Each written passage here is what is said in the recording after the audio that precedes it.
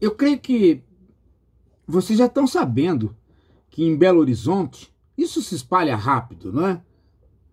Em Belo Horizonte, um colégio é, anulou uma prova por conta de que havia um texto do Gregório do Duvier.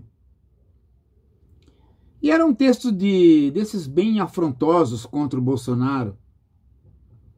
E aí alguns pais de aluno, claro, bolsonaristas, foram lá reclamar. E o diretor cancelou, parece que a prova.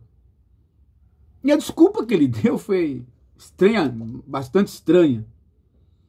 Ele disse que não havia o contraditório, não havia um outro texto que falasse diferente. Em outras palavras, né, é o predomínio da ideia de verdade da imprensa.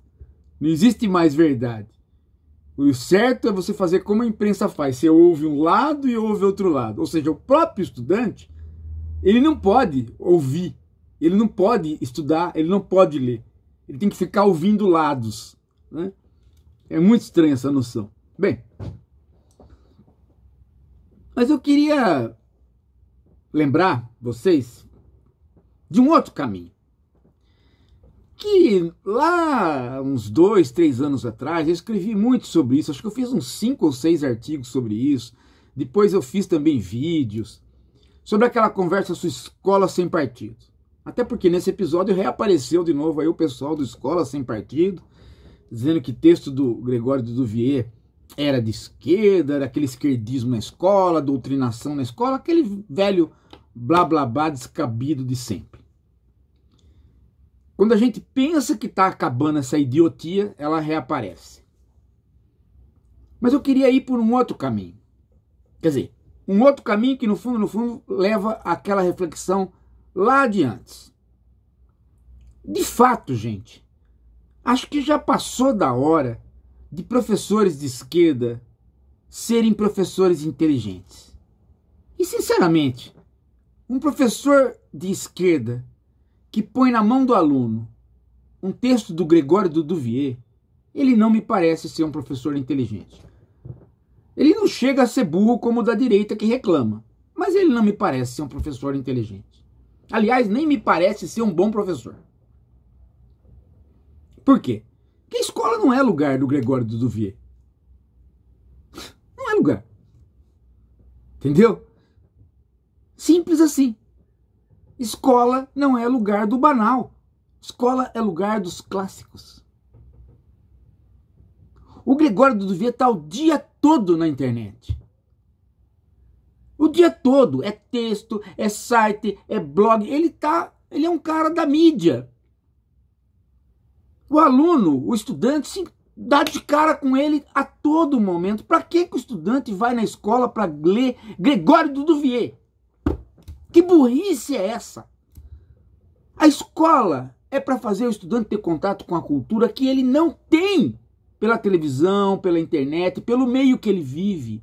A escola é para tirá-lo do senso comum. A escola é para fazer com que ele possa sonhar, com que ele possa imaginar, com que ele possa ter textos da língua pátria que valham a pena. A escola é o local da cultura, da, da alta cultura da cultura que vai fazer ele poder criticar o texto do Gregório do Duvier sem precisar ficar olhando dois lados. Então veja o seguinte: você quer pôr um texto contra o Bolsonaro? Eu vou te dar uma ideia inteligente.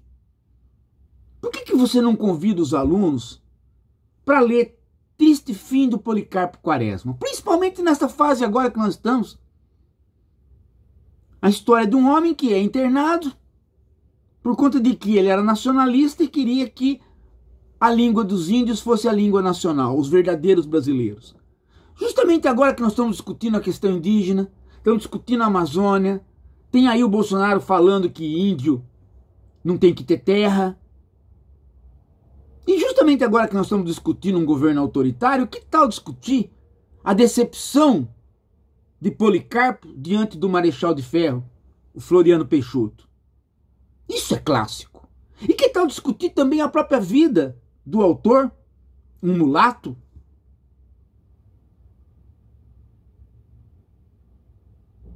Por que, que mulatos escreviam e depois eles desapareceram? O que é triste fim do Policarpo Quaresma e o Marechal de Ferro?